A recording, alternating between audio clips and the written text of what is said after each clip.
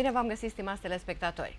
În România, la fel ca în alte țări din Occident, vârsta la care femeile au primul copil este în creștere. În 1980, vârsta medie a mamei la prima naștere era în jur de 22 de ani, urcând în 2010 la 26 de ani. În mediul urban, vârsta medie la care româncele au primul copil este de aproape 28 de ani. Pe măsură ce femeile amână momentul în care intenționează să aibă copii, ele sunt cuprinse de îngrijorări referitoare, desigur, la ceasul biologic. În această situație, multe cupluri sunt nevoite să recurgă la tehnicile de reproducere asistată, inseminarea artificială și fertilizarea in vitro, tehnici care se practică cu succes și la noi în țară. Pe lângă înaintarea în vârsta a femeii, moștenirea genetică, alegerea unei diete și a unor obiceiuri nesănătoase pot contribui la scăderea fertilității în cuplu. La toate acestea se adaugă și factorii de mediu, aerul, apa și solul, a căror poluare este într-o continuă creștere. Ne influențează pe toți și deci cu siguranță vor influența atât sănătatea mamei cât și pe cea a fătului și implicit a viitorului copil. Iată de ce acestea au fost câteva din temele abordate la cel de-al 11-lea Congres de Medicină Perinatală desfășurat recent la București și despre care vom afla mai multe de la invitatul nostru. Este vorba de profesor universitar dr. Florin Stamatian, șeful Clinicii Ginecologie 1 din Cluj-Napoca și președintele Asociației de Medicină Perinatală din România. Bine ați venit, domnule profesor! Bună seara dumneavoastră și telespectatorilor dumneavoastră și sper ca emisiunea noastră să tragă un semnal de alarmă mixt și pentru populație, dar și pentru factorii de decizie respectiv Ministerul Sănătății, Ministerul Mediului și Ministerul Învățământului. Bine ar fi să fie auzite uh, vocile dumneavoastră și ale celor care au luat parte, iată, la o manifestare de genul acesta care vroia să atragă atenția și eu cred că a reușit în mare măsură. Dar haideți întâi uh, vorbim așadar de uh, Congresul al 11-lea de medicină perinatală.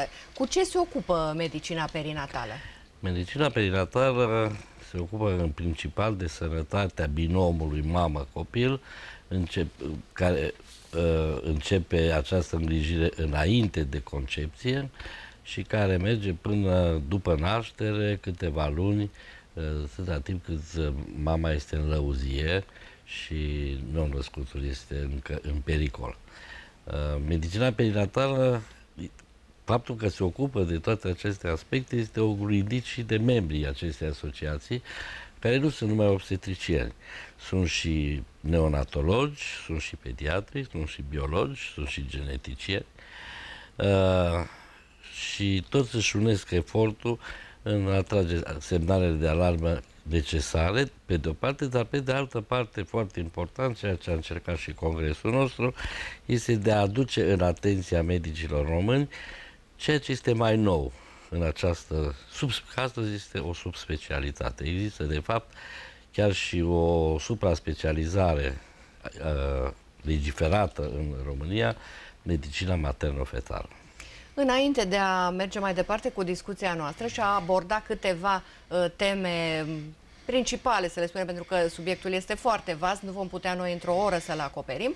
Uh, vă invit uh, și pe dumneavoastră, deși ați fost acolo, și pe telespectatorii noștri, să vadă părerile câtorva dintre participanții la acest congres de medicină perinatală, după care vom uh, reveni în platou.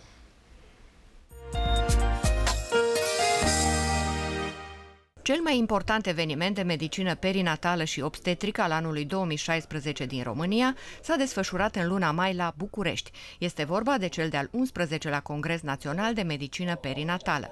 Evenimentul a fost precedat de cursul european de ultrasonografie fetală, susținut sub auspiciile unei societăți mondiale cu peste 100 de țări membre, inclusiv România și pentru că trăim epoca în care aproape tot ce ne înconjoară este poluat, tema manifestării a fost una extrem de incitantă, și anume influența factorilor de mediu asupra sănătății reproducerii, asupra fertilității, dar și asupra sănătății mamei și copilului. Au aderat imediat nu numai specialiști în obstetrică, ci avem invitați de la, de, sau din domeniul mediului, cercetători din domeniul mediului înconjurător, avem uh, invitați specialiști în sănătate publică, avem invitați specialiști în uh, cercetarea chiar fundamentală din domeniul reproducerii umane, care toate împreună ne cu care toți împreună vrem să ajungem să identificăm toți factorii care ar putea impieta asupra dezvoltării embriofetale și în viața de bună calitate a băieților și fetițelor care se nasc, pentru că sunt uh, substanțe care pot interfera cu dezvoltarea embrionară, dar sunt și substanțe care pot produce modificări minore la făt care se vor exprima numai la a doua sau la a treia generație. Manifestarea a reunit peste 500 de participanți din țară și din străinătate. Specialiștii prezenți la congres, medici, profesori, cercetători în domeniul obstetricii și ginecologiei au abordat teme extrem de diverse cu un impact major asupra reproducerii umane. In my presentations I, I show în prezentarea mea am arătat că sarcina multiplă este o sarcină cu risc crescut, cu o rată mare de prematuritate, cu o rată mare de preeclampsie, cu potențial crescut de diabet, deci trebuie să evităm toate acestea. Dar nu întotdeauna avem o dublă alegere, ci o dublă problemă cu sarcina gemelară. În concluzie, pentru a îmbunătăți îngrijirea perinatală, în cazul cuplurilor care apelează la fertilizarea în vitro, aceștia trebuie să fie atenți și să reducă numărul fetușilor transferați. Uh, Am făcut câteva studii în cooperare cu Slovenia și Portugalia asupra sarcinii unice, dar și gemelare și am urmărit câteva aspecte pe care diabetul le poate genera asupra mamei și copilului. Și am descoperit că cel mai important factor nu este diabetul, ci faptul de a fi obeză înainte de sarcină. Și, de fapt, acesta este singurul aspect pe care noi îl putem schimba în domeniul sănătății publice, deci putem reduce obezitatea în rândul populației și implicit în rândul mamelor și copiilor. My presentation is about preterm birth, which is delivery before 37 weeks. Prezentarea mea este despre nașterea prematură, adică înainte de 37 de săptămâni. Problema cu nașterea prematură este că bebelușul poate fi foarte mic, poate avea probleme de respirație și de alimentație și ar putea avea ulterior și probleme la școală, la matematică, la citit. Uneori copiii nu pot merge bine din cauza nașterii premature. Sunt multe cauze ale nașterii premature, dar știm că unul din lucrurile pe care le putem face este ca la jumătatea sarcinii să verificăm cervixul, colul uterin, și să-l măsurăm. Știm că în cazul în care este scurt, putem da medicamente, progesteron, care este un hormon natural pe care toți îl avem. Și acest hormon reduce riscul de a avea o naștere prematură cu 40-50%. E important să mergem la medic, să verificăm lungimea cervixului, să nu fumăm în timpul sarcinii, pentru că și fumatul poate duce la o naștere prematură, să mâncăm bine și să luăm vitamine. Așadar, viața noastră, care începe încă din burta mamei, ne este influențată de mai mulți factori. Moștenirea genetică, alegerea unei diete și a unor obiceiuri nesănătoase pe care le facem în mod voluntar și, nu în ultimul rând, mediul înconjurător, care înseamnă aerul, apa și solul.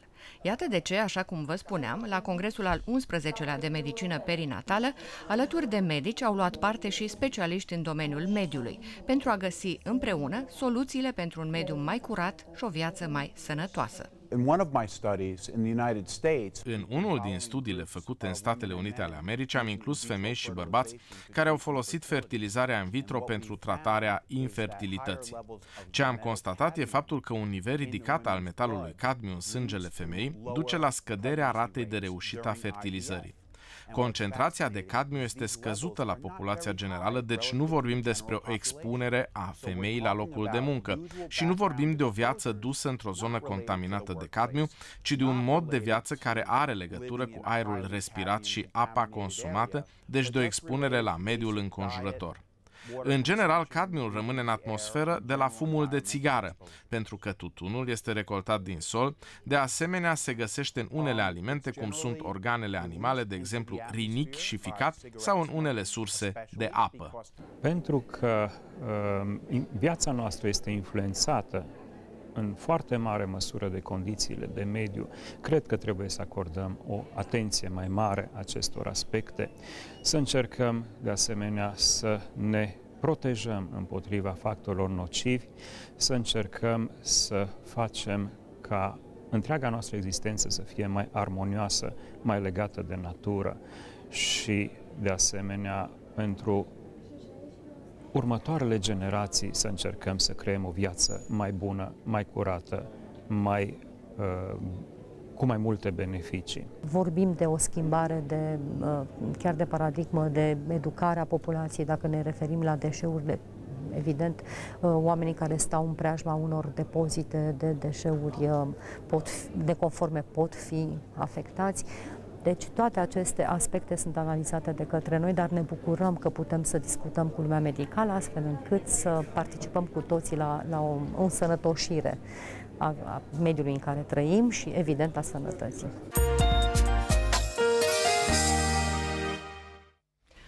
Am ascultat așadar câteva opinii ale unor participanți la congres, foarte multe teme, diverse, interesante, importante. Vă propun să începem așa cu finalul reportajului, mai ales că tema sau sloganul sub care s-a desfășurat uh, congresul uh, este influența factorilor de mediu asupra uh, sănătății perinatale sau medicina perinatală, influențele ei asupra sau mediul, cum influențează medicina perinatală și am văzut profesorul Călin Baciu și doamna secretar de stat Corina Lupu, care au venit la acest congres de medicină tocmai pentru a trage un semnal de alarmă. Uh, concret, acolo s-au spus foarte multe lucruri, de aceea vă invit pe dumneavoastră să ne vorbiți puțin despre plasticuri.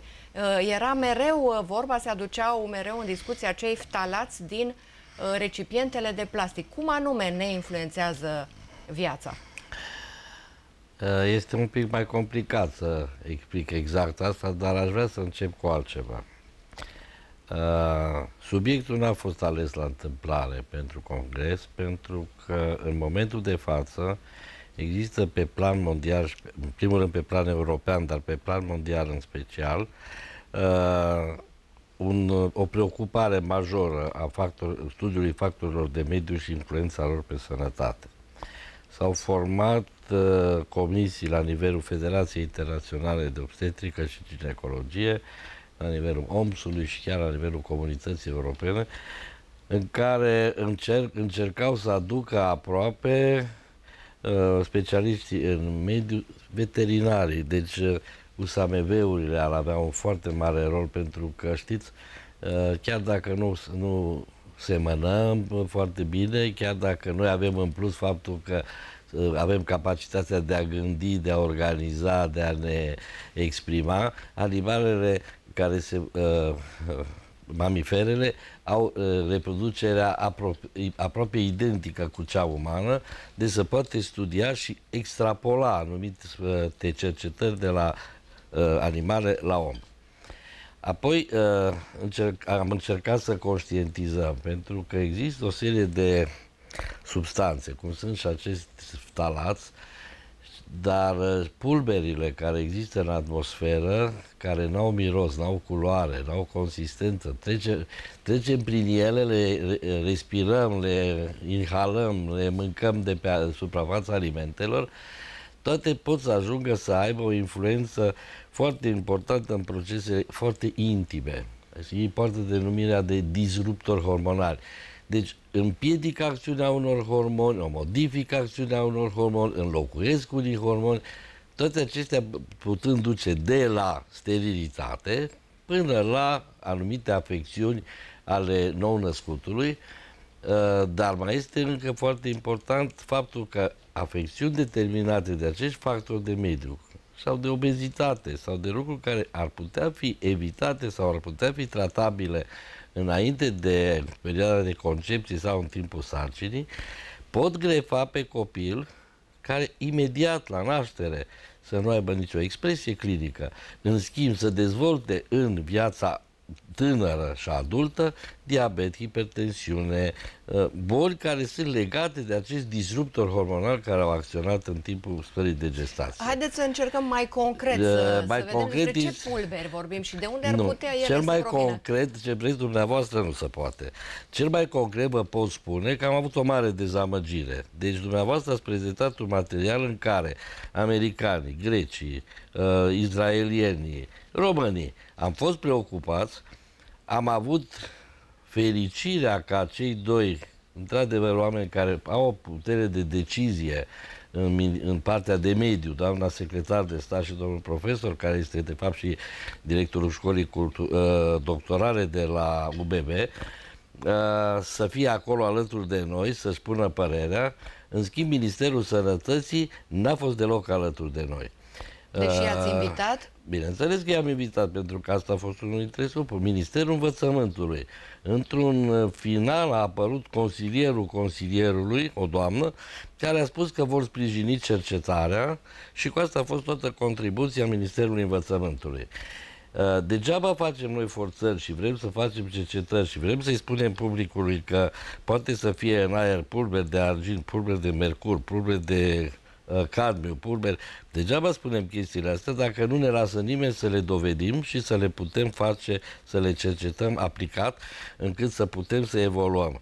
De dovedit, în mă momentul... că le-ați dovedit din moment ce ați Doamna, afirmat uh, Deci lucrurile. am afirmat, sunt multe lucruri ipotetice. Nu toate sunt, deci să încercăm să trecem de la medicina curativă, care se aplică astăzi, să trecem la o medicină uh, bazată pe dovezi, pe cercetare, care să, asig să asigure și dezvoltarea medicinii românești, încât să poată facă medicină preventivă, nu să copiem în fiecare zi ceva de afară, să zicem că i-au zis că e bun. Bun, dar să sperăm ce, că acum vă aud Gândiți-vă ce situație suntem acum. Dacă eu am o legătură cu o fabrică de medicamente, nu e bine. De ce cum adică să studiez eu efectul medicamentului, că nu știu, mă îmbogățesc sau umblu singur și vorbesc singur pe stradă. Dacă vreau să fac cercetare, am avut surpriză neplăcută, inclusiv cu conducerea Spitalului Județean, care a spus că nu interesează cercetarea. Deci nu putem face medicină să ne intereseze economie la sânge, să ne intereseze să căutăm hoții, că nu fi hoți chiar în fiecare salon și să nu lăsăm să, fac, să distrugem medicina de excelență. Deci acum cât la minister a fost clujanul nostru, nu ați deci putut deci, clujanul nostru, pune problemele deci acestea? Eu, eu nu cunosc exact și nu, nu vreau să comentez plecarea lui din minister, dar unul dintre motivele pe care am subînțeles din interviul pe care l-a dat la televiziune, că a plecat plecat tocmai pentru că se mergea pe o pistă pe care noi, medicii, nu suntem de acord. Dacă aduci un tehnocrat care de ce domnul tehnocrat a adus uh, oncologice în România? Care a fost relația, dacă vreau să fiu așa ca și ei și ca și DNA-ul, care a fost relația acestui medic cu producătorul de oncologice din Germania? Ce a câștigat el din această uh, da, voluntariat? Eu înțeleg și, uh, nu? punctul de vedere Bun. și aveți deci, dreptate. Sigur, uh, nu mai poți să faci săra, nimic săraci bun oamenii noștri, ești uh, suspectat. Deci, în momentul da. de față, în România, în medicina perinatală, sunt câteva centre care sunt bine dezvoltate. E la București, e la Iași, e la Timișoara, este la noi. Uh, aceste centre încearcă să aplice ceea ce știu din literatură și ceea ce știu din, de la congrese, ceea ce știu e din foarte eh, bine. cercetare. Iar noi, TV Recluj, încercăm să venim și... cu explicații simple deci, eu, uh, eu am, deci tuturor. va fi foarte greu să explic pe înțelesul tuturor că, dis, că disruptorul hormonal poate să acționeze asupra receptorilor Bun. estrogenii. Dar de unde sau vine asupra... acest disruptor hormonal? Vine, Aici? vine din, uh, din gazele de șapament, din uh, fumat, din uh, uh Iată, industria... Fumatul din, putem uh, fumatul, evita. Nu, chiar că acum numai fumatul. De când Cristi a zis că nu-i voie să fumăm nicăieri, fumatul de vină de toate. Și are și, el, de vină? are și el partea lui de vină. În momentul de față putem spune unde avem, unde statul are vină. Nu doctorul, nu populația. Dar Sunt nici, toate aceste... nici problema asta nu putem rezolva Dar mă lăsați să vă spun despre ce e vorba. Da. Păi că, ca că să vă spun de unde provine mercurul, ca să vă noștri... spun de unde provine mercurul, vine de la exemplu cel mai aproape, mi sunt uzinele chimice din Turda, care au fost uh, demolate, jefuite, dezafectate de diverse structuri și da, da, uh, solul de acolo nu a fost decontaminat de nimeni. Bun, iată o informație utilă. Așadar, Informația a mai fost pe televiziune zonele... și nimeni nu s-a dus să facă da, chestia măcar asta. populația poate se îndepărtează de zonele acelea, unde știu că au fost anumite uzine, anumite fabrici Ce care face? au fost bă, demolate. Dacă, și... aveți, dacă aveți o casă cu două etaje lângă zona aia, vă vindeți casa și vă mutați? Acum, ce e mai important, sănătatea sau casa? Domniță, casa e, mai, e foarte Bun. importantă. Noi trebuie oricum să le atragem Bun. atenția. Pe urmă, oamenilor... Haideți să revenim la plasticurile astea de care au... Plasticurile. Deci, care iarăși... sunt peste tot și bem din ele apă, sucuri, iaurturi. Bună. Totul se consumă din plasticuri. Cât de nesănătoase sunt? Deci, nu atât salatul ca atare, există și el ca atare din recipient. dar este și din ceea ce facem noi. Îl aruncăm peste tot. A toate aceste gunoaie care se acumulează, care sunt parțial degradabile în natură, pot să ducă la creșterea concentrațiilor în apa freatică, la concentrația pe sol, la concentrația în aer iar trecerea la toate pe uh, recipiente de sticlă ca să nu mai avem deșeuri plastice este o chestie iarăși care ținem de stat, de economie și, și de, de educație mediu. până la urmă, să nu aruncăm uh, aceste plasticuri peste tot. Exact ce spunea și deci, doamna uh, a fost, Corina A fost un lucru extraordinar, extraordinar la una dintre televiziuni în care scafandrii de, au decontaminat zona litorală de la Vama Veche. Și un cățel a intrat în mare, s-a întors înapoi cu sticla de plastic în gură, a decontaminat marea. El știa că aia nu e voie acolo. E o problemă de educație, e o problemă mare de educație. Cum este, de exemplu, m-am urcat în mașină și uh, unul dintre copii s-a urcat pe scaunul din față. Nepoțica mea s-a dus și a zis, tu nu ai voie să stai aici. Deci, iată, putem să educăm de mici. Deci, dar trebuie să începem de la această da. vârstă, că nu Chiar se aruncă pe jos. se pare că ei nu înțeleg, Acum, dar știți, ei... Eu am o vorbă care e extraordinară. Înmagazinează cel Numai puțin. mici, nu și proști. Așa e. Și Parcă ei de, din ce în ce mai inteligenți. Și de joacă câteodată, deci trebuie... dar noi trebuie să ne Bun, îndreptăm atenția spre educație. principală pe care ar trebui să o rețină telespectatorii este să evităm pe cât posibil uh, recipientele de plastic. Am înțeles și de la Michael Bloom uh, spunea, măcar cu trei luni înainte de concepere și cu siguranță pe perioada în care uh, Uh, femeia este însărcinată și și după naștere. Dar vă întreb, acele biberoane din care beau uh, copilașii, sunt și ele de plastic? Ar trebui deci, și ele evitate? biberoanele care se folosesc sunt dintr-un plastic neutru. Deci nu există și nu plasticuri există uh, biberoane, sănătoase, să spunem. Da, există și plasticuri neutre, exact cum sunt diferite plasticuri care se folosesc, de exemplu, în transplante. Nu? Alea sunt niște plasticuri neutre. În ceea ce care folosit la dispozitivul intrauterin. Este un plastic neutru care nu eliberează ioni care ar putea să influențeze. Bun, deci să fie liniștite mămicile care folosesc acele Bun, biberoane de plastic, acelea pot fi folosite, dar în general să evităm uh, bun, trebuie, recipientele bun, dacă de luăm plastic. așa de la asta, ar trebui să evităm 50% din ceea ce folosim noi astăzi. Pentru că civilizația care ne-a dus pe niște culmi de aduce, și bune, aduce și, și bune și rele. Uh, revenind la mesajul profesorului uh, Blickstein din Israel, dânsul vorbea despre uh, diabezitate, spunea el, uh, diabezity în engleză. Nu, Re... există acest termen da. nou introdus, diabezity, care combină ideea de diabet cu obezitate, obezitate și care sunt două lucruri care sunt nu numai inter, în interrelație, ci sunt și interconectate prin influență reciprocă. Dar spunea dânsul că până la urmă nu atât diabetul uh, este problema cea mare, ci uh, kilogramele în plus pentru femeie înainte de a rămâne însărcinată. Cât de important este să aibă uh, deci, kilogramele normale, când, greutatea normală. Când calculăm riscul în foarte multe afecțiuni, începem de la masa corporală, de la indicele de masă corporală. Și există, sigur, acum să nu exagerăm, există și oameni care sunt predispuși prin natura lor să fie mai uh, corpolenți, corpolenți. Însă stilul de alimentație influențează foarte mult această problemă și a schimba obiceiul alimentar Știți că uh, a fost o supărare când s-a spus că alimentația tip McDonald nu este sănătoasă pentru adolescenți. Dar ăsta este un adevăr și trebuie spus. Nu poți să obligi, trăim în democrație, dar po- poți să-i atragi atenția. De exemplu, azi, chiar astăzi am stat de vorbă cu o doamnă profesor care lucrează în psihiatrie, dar care vorbea să lansăm o cercetare în școli în ceea ce privește obezitatea la tineri și la influența ei asupra viitorului, uh, sigur că o cercetare sigur, pe și, lungă durată.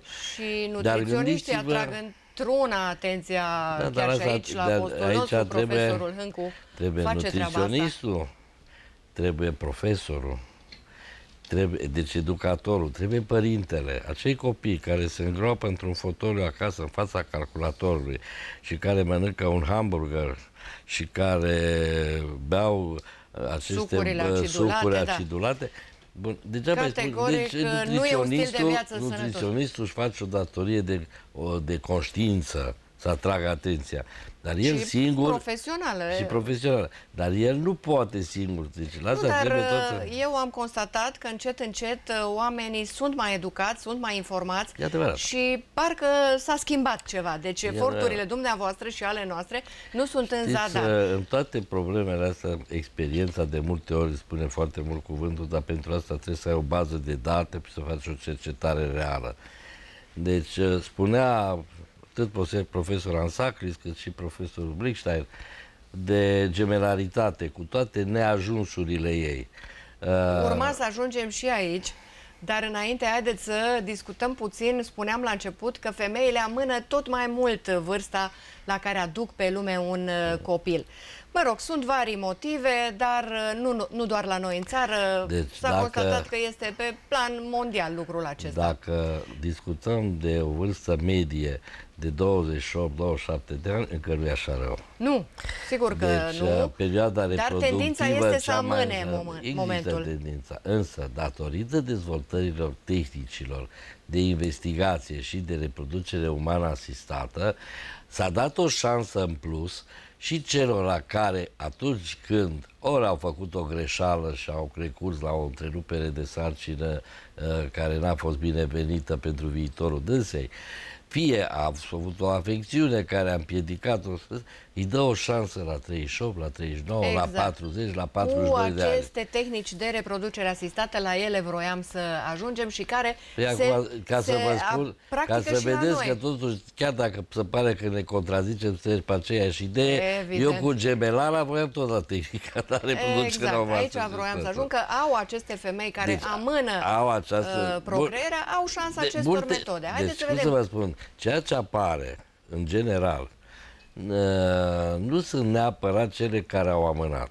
Sunt cele care au avut probleme și Am care înțeles. au încercat ani de zile. O veți întâlni cupluri, dacă stați de vorbă în fața unui cabinet de reproducere umană, veți întâlni cupluri care 10 ani s-au chinuit.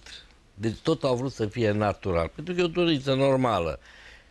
Am ajuns la 38-39 de ani, zice, acum nu mai am nicio șansă pe care naturală să pe ultima sută de metri teoretic să încerc și aceste șansa tehnici. aceste tehnici. Dar până la tehnicile acestea există și alte tratamente pe care un cuplu depinde le poate care, încerca? Depinde care este cauza. Mă să vă mai spun un lucru care este foarte adevărat. Uh, una dintre cele mai, cel mai mare impact care l-a avut asupra reproducerii umane e un lucru la care nu se gândește aproape nimeni. Este partea de stres, partea de viață dezorganiz- de cuplu dezorganizată. De multe ori mi se întâmplă și întreb, zic, totuși, de câte ori vă întâlniți pe săptămână? Pe zice că nu-i, nu-i obosit el sau nu s obosită eu, poate și, odată la pe săptămână. Sunt foarte mulți care din cau lucrează, am ajuns și în România să fie el navetist și să vină o dată pe săptămână acasă. Deci atât și uh, stresul uh, este o cauză Există meserii care duc la scăderea, nu, nu la, la femeia de vină. Sunt meserii care e bine duc că la... lucrul acesta, că de obicei femeia se simte vinovată, ea face femeia este, multe investigații. Femeia are acea capacitate psihică, sufletească și de creere umană, încât face orice. Doar că singură a, doar nu de, poate. de obține un copil și de el are nevoie numai pentru materialul seminal. Când e vorba el să fie investigat, să, să știți că există un procent destul de mare care refuză investigațiile. Dar Din ce cauză? Meserii, mândria... mândria de bărbat. De bărbat. Pe mine mă distrează când zic, domnule, trebuie să-și facă spermograma. Și au adus aminte cândva, acum 10 ani, el a avut, uh, a lăsat grapidă pe cineva. Deci există tot felul de povești care uneori par anecdotice. Așadar, Dar stresul... există meserii, de exemplu, șoferul de cursă lungă. Este o meserie prin stres și prin poziția pe scaunul șoferului care duce la scăderea calității materialului seminal. Iată încă o deci, informație există zone importante. Deci există e, meserii, cum este cea de șofer da. și ce ar putea să facă? Nu poate să facă, eu știu, niște exerciții, pauze la condus. Nu există. Deci, Să-și schimbe iară mă meseria. duceți la vreți niște certitudini, nu există certitudini astea. Și există o variabilitate, Nu, alternative. există o variabilitate individuală extraordinar de mare. Deci nu se pot da soluții, domnule. Ce să fac, ce să-i spun eu, ce trebuie să facă cel din regiunea Boșa Baramureș, în care încă există uh, influența uraniului din zonă și calitatea spermei uh, Este scăzută acolo. Ce să-i spun, să mute în California? Este o alternativă. E, depinde de el dacă alternativă, da. dorește să o accepte. Uh, Haideți să le spunem telespectatorilor noștri, așa cum este formatul emisiunii, pot și ei uh, interveni din acest moment, sunând la numărul de telefon 0264 420 135 pentru a adresa întrebări invitatului nostru. Este vorba de domnul profesor universitar dr. Florin Stamatian. Discutăm despre sănătatea mamei și a copilului. Sunt uh, o mulțime de factori implicați aici, de la factorii de mediu și până la o alimentație și obiceiurile nesănătoase pe care uneori le adoptăm uh, voluntar. Până va suna vreun uh, telespectator, e- noi avem uh, pregătite destule întrebări și vorbeam despre tehnicile acestea de uh, reproducere asistată. Inseminarea artificială. Când se recomandă uh, acest Deci procedeu? inseminarea artificială are în principal două momente care poate fi recomandată. Atunci când materialul seminar este de foarte slabă calitate pentru că se va folosi un uh, material seminar în concentrație și pe cât posibil de ameliorat cantitativ și calitativ, respectiv cantitativ cât ajunge în uter, pentru că asta înseamnă intru- injectarea direct în uter, în cavitatea uterină, a materialului seminar care a fost prelucrat.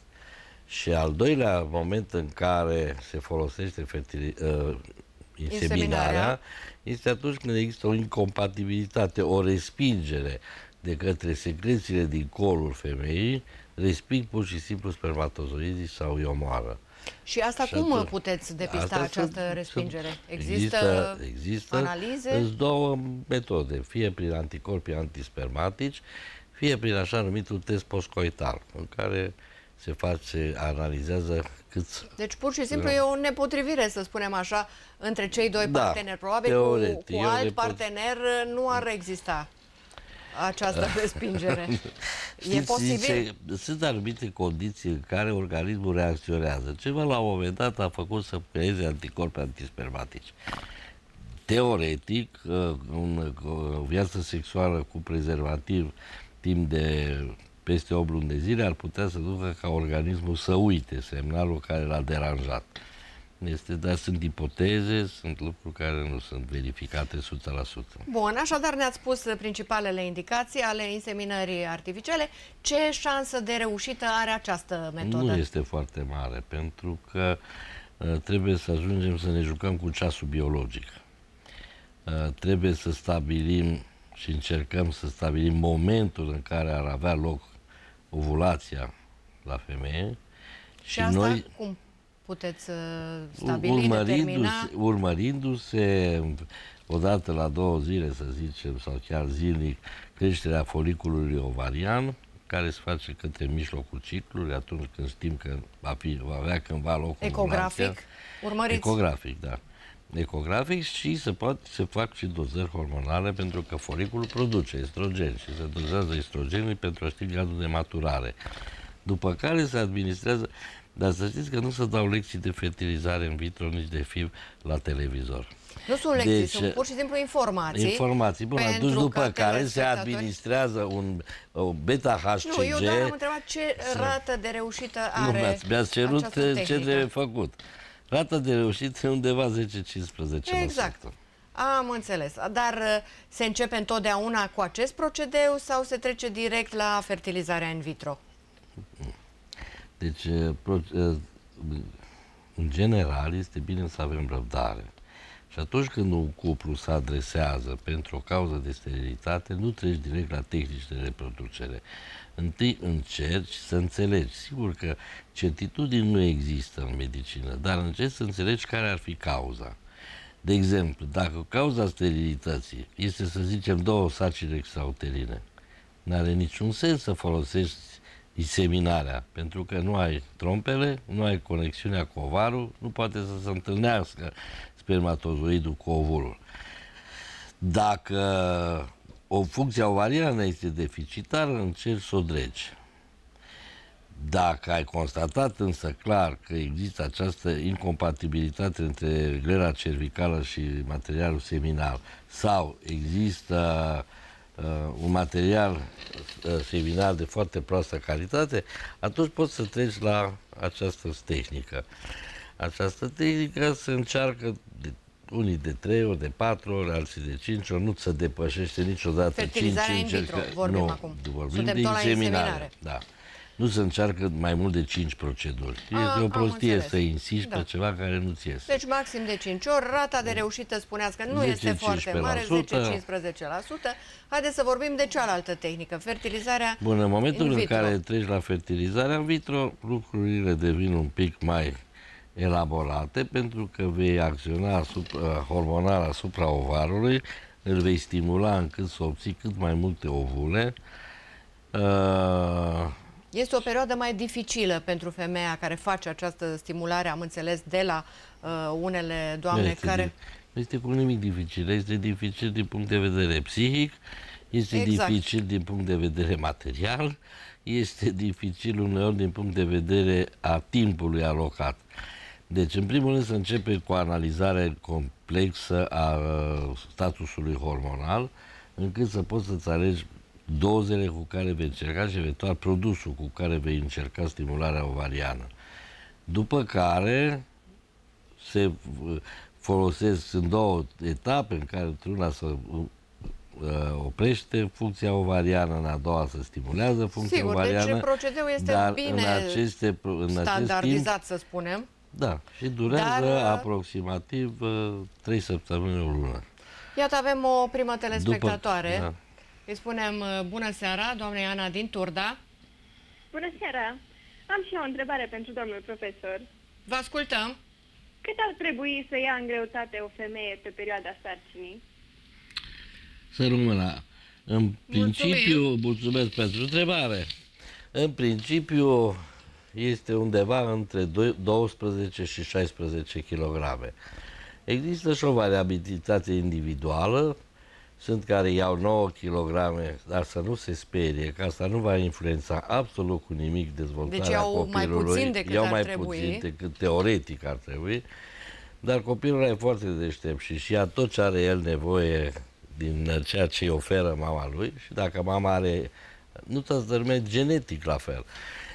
Putem să ajungem, hai să zicem, la 18 kg. Ceea ce depășește această greutate poate să intervină deja să aibă repercursiuni asupra modalității de naștere, asupra uh, dezvoltării copilului, pentru că creșterea de masă corporală în mod exagerat duce la modificarea unor jocuri hormonale de tip receptori insulinici. Deci inclusiv- între 12 și între 12 18, și 16, 16 kilograme kilograme. Este, Este, sigur că ideal. acum depinde și de dacă... Îi mulțumim, dacă doamne, doa- pentru că ne urmărește. Dacă... Doamne, nu ne spuneți și cât e rezultatul la meci? 1-0. 1-0 conduce anunțat. România, da. Mă, bine, Puteți să spuneți și mie să domn liniștit. Vroiam să vă scriu așa pe un Să vă- carton. Deci, să vă arăt. uh, dacă femeia în- în- are un metru și 90, Poate să ia poate mai mult. să ia ceva mai mult, pentru că indicele de masă corporală se calculează în funcție de, și de înălțime, nu numai de kilograme. Dacă are un metru 50, tu sigur că te, 20 de kilograme e, E- deja o, e o mult. bu- e foarte mult. Așadar, revenind la tehnica de fertilizare in vitro, ce șanse de reușită are această tehnică? Sigur, procedeul este complex. Bun, acum dacă cum spuneați, căutăm, nu îl explicăm dacă noi veți aici. merge pe internet, pe alte Forumuri. mijloace, forumuri de informare, veți auzi foarte multe procente. Depinde cum se calculează. La noi, în clinică, calculăm sarcina obținută și care a ajuns la cel puțin 12 săptămâni de gestație. Deci sunt clinici care, dacă au ovul și au spermatozoi Ah, care au, spun s-au că e o fecundat, reușită. spun că e o reușită. Noi până când nu avem reacția de sarcină pozitivă, până nu-l identificăm ecografic, nu o raportăm. Iar pentru sufletul nostru să ajungem la 10 săptămâni. Și în această situație, la noi cred că este undeva la 35%. Este? E o rată Destul de mulțumitoare, mai ales că ceea ce nu se știe în principiu, că și natură, rata de fertilizare este undeva în jur de 30-35%. Pentru că chiar dacă spermatozoidul a ajuns și a fecundat oul în uterul femeii, ouul ăla trebuie să ajungă într-un anumit moment, o fereastră biologică, că când se prinde de endometru. Dacă n-a făcut treaba asta, urmează așa numitul avort menstrual, pe care nici femeia, nici medicul nu are cum să-l conștientizeze. Deci și natura, Dar așa cum există spuneați, și natura, rata de face o reușită- selecție. Și pe urmă, nu toate ouăle rici în natură care provin dintr-o fecundație chiar normală sunt chiar perfecte. Și unele sunt pierdute pe parcurs sau după aia vom avea oprirea în evoluție. Uh, Și aici apare și uh, acea problemă pe care o ridica domnul profesor uh, Aris uh, Astacalis Acum, din Grecia. problema- deci Câți noi- fetuși noi avem o- introducem?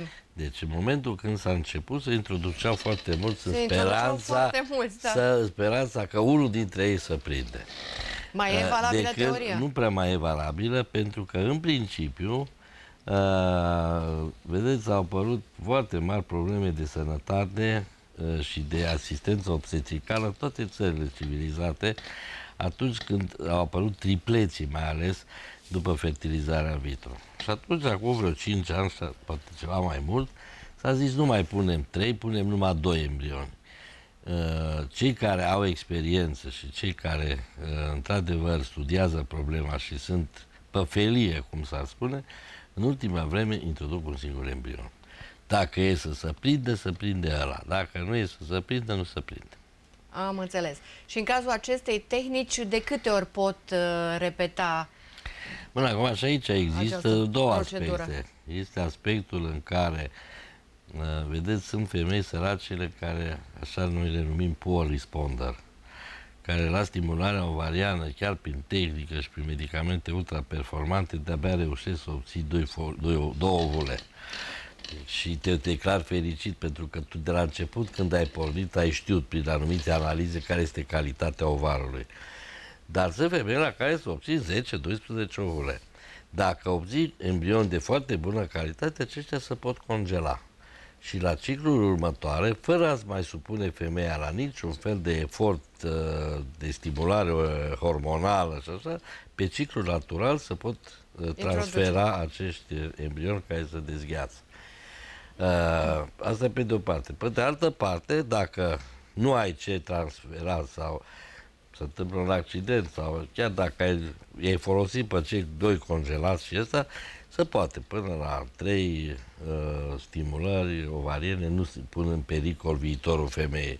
Nu că se pune și această întrebare. Ce se întâmplă cu acele ovare când le stimulezi? În afară de faptul că le uh, epuizezi tu prin tehnică și folosești o, pentru că femeia se naște cu un număr predeterminat de folicul primordial, să numesc, care pe urmă în fiecare lună se vor matura. Dar în fiecare lună și organismul face risipă, că începe spre evoluție 3-4, din care unul singur va ajunge să fie ovolul selecționat. Dar în loc ce face organismul cu 3-4, tu vii cu fertilizarea în vitro și faci 10, înseamnă că să le duci la jumătate șansele Pe de altă parte, am auzit uh, cazuri în care, după încercări repetate, nu știu exact câte, de a face această fertilizare in vitro, femeia a rămas însărcinată pe cale naturală. Deci asta este un lucru cunoscut. Și aici vorbim de sterilitatea psihică, nu de sterilitatea hormonală funcțională. Sunt foarte, femeia când scapă de foarte, stresul, foarte se multe liniștește, cupluri, se eu calmează. cunosc, eu, în experiența mea, am cel puțin vreo 15 cupluri care am 6-7 ani am făcut tot ce le trecut pe minte, nu e și nimic, am făcut fertilizare în vitro, am avut un copil și la 6 luni a fost gravidă natural. Deci uh, această sau, ca să nu zicem că asta ar fi de la stimularea ovariană, am avut femeie care a înfiat un copil Da, am și la auzit și câteva cazuri luni de acestea. după ce, pentru că a dispărut așa Stresul. tensiune, cel stres, S-a liniștit, a zis, am un copil, acum dacă deci, Dumnezeu mai îmi dă unul, Problema este va că am, foarte de, bine mult, primit. de multe ori am făcut, am folosit această expresie, uh, Doamnă, nu aveți nimic.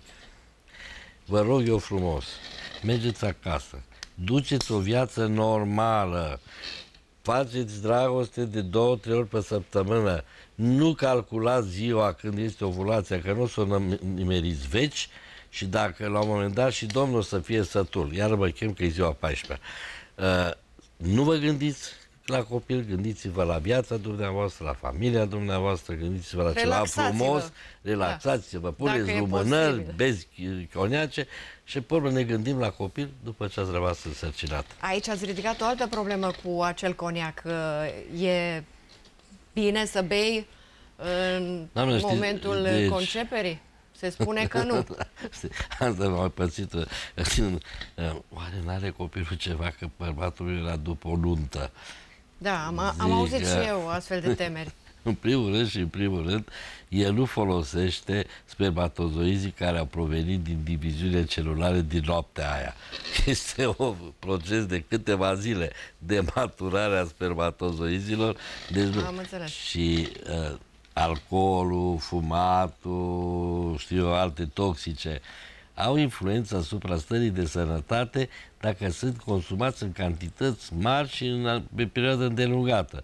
Deci, de exemplu, sindromul alcoolic la nou născut, la copil, nu este în România, pentru că la noi nu avem uh, decât foarte rar cazurile de consum zilnic de alcool de peste uh, 5 grame.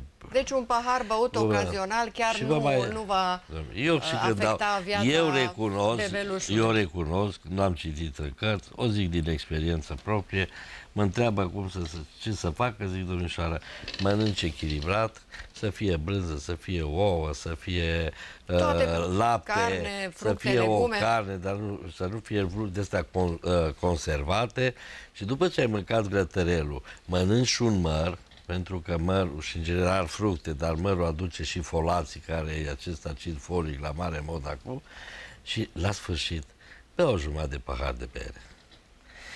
Că nu se va întâmpla că nimic, deci o, o liniștiți. Sau puteți spune, e bine bea, că bea o jumătate, bea o jumătate de, vin, de pahar de vin slab, Dar că și Iisus fie, a da. recomandat da. să bem vin. Bun, ă, așadar, dacă această procedură reușește, sigur cuplul va fi în culmea fericirii, dar dacă se introduc mai mulți fetuși, apar aceste sarcini multiple, gemelare ă, sau de triplet sau cine știe câți ă, s-au introdus și câți s-au prins. Și în cazul acesta există riscul nașterii premature, cum spunea doamna profesor Sonia Hasan. Sonia Hasan este unul dintre specialiștii mondiali de mare renume și când am, la momentul când s-au întrunit invitații noștri sau unul dintre profesori mai în vârstă să uita așa la ea și zice, cine -i? Zic Sonia Hasan. Doamnă, vă cunosc din literatură. A da, publicat da, deci, enorm și da, este îmi spuneați un, că este o specialistă, este și... Uh, cauzele noastre premature sunt multiple, așa cum a zis și da. ea. Este greu Dar să ce le... se poate face? Deci, de făcut, uh, în primul rând și în primul rând, dacă știi că am, se, în primul rând există o istoric, un, o anamneză, cum zicem noi, când stai de vorbă cu femeia și vezi ce a avut ea în antecedente care poate să-ți indice că poate surveni nașterea prematură. În al doilea rând, dacă respecti toate condițiile de viață igienică, de viață regulată și puțin probabil că va fi un factor că, care va determina nașterea prematură. De făcut prea multe, asta este problema, că de făcut prea multe, în afară decât să eviți gemelara, în măsura da, care, care acolo poți, riscurile sunt mai mari, care poți, uh, să faci acest tratament preventiv cu progesteron, care ajută pentru că scade contractilitatea musculară uterină și facilitează uh, o cât mai târzie modificare a colului, care de fapt se deschide și din aia de ce apare nașterea prematură, se mai pot face așa numitele procedee de cerclaj, adică se leagă pur și simplu colul încât să împiedicăm deschiderea lui. Uh, repauzul la pat, care este iarăși poate să fie, să ducă la uh, uh, eliminarea factorilor. Pe urmă, uh, Așa ce cum e cel spuneam. mai, ce e cel mai, cel mai, cel mai important la noi, la români, este, din nou mă întorc la prietenii mei de la Ministerul Sănătății. Cel puțin de șase ani am depus un program pentru asistența prematurității în care să fie uh, unitățile sanitare, să fie dotate cu ceea ce trebuie și să asigure transportul in utero. Deci nu un nou prematur care s-a născut cu 500-600 de grame, să zic chiar la gherla, până merge ambulanța, până îl ia în incubatorul la chiar încălzit, chiar cu mi- uh, câteva mijloace sumare de prime, primele îngrijiri date nou născutului, îi scad șansele, precum dacă acea femeie, cu o zi înainte, ar fi venit cu el în cel mai bun incubator la Cluj, respectiv cu uterul matern, atunci șansele lui ar fi mult mai mari. În rest, uh, E o poveste lungă și cu lupta pentru uh, antiprematuritate. Am înțeles, dar Ceea ceea ce, ce, vă se pot, poate spu- face ce vă pot spune eu și o spun cu mare este acel mândrie. control de care spunea și o doamna spun profesor. cu o mare mândrie este faptul că în ultimii ani, datorită eforturilor pe care le-au făcut neonatologii, și în România se știe trata prematuritatea, Cu condiția, așa și- cum spuneați, să existe aceste incubatoare să existe în care să unitățile fie de terapie, primiți inte- bebelușii. să fie unități de terapie intensivă, să se respecte programele naționale prin care se asigură surfactantul și tot ce trebuie asigurat, să se facă toate controlele care trebuie făcute. E o problemă de sănătate publică extraordinar de mare. Dar, se Dar fac ce eforturi. poate să facă femeia? Spunea și uh, Femeia doamna poate să Sonia facă- Azar, fumatul este un factor de risc pentru uh, nașterea prematură. Da și nu. Da și nu. Fumatul este prin nicotină, duce la modificarea irigației placentare. Deci sângele care ajunge la uter ajunge prin niște vase care sunt mai strâmtate, ori cumva să zicem, ca să fie cât mai simplu. Oricum, uh, Uh, fumatul nu cred dar- că face bine nici mamei, nici bebelușului. Fumatul nu face bine nimănui, nici chiar mie care fumez de 40 de ani. Dar ar trebui asta o am spus-o femeie- eu ca să nu sune o În telespectatoare să timpul mă întrebe. sarcinii ar trebui să încerce să se lase de fumat? Da. Pentru că există și Da. variante în care li se spune nu Și- forța dacă ai fumat, Bun, acum nu poți să spui...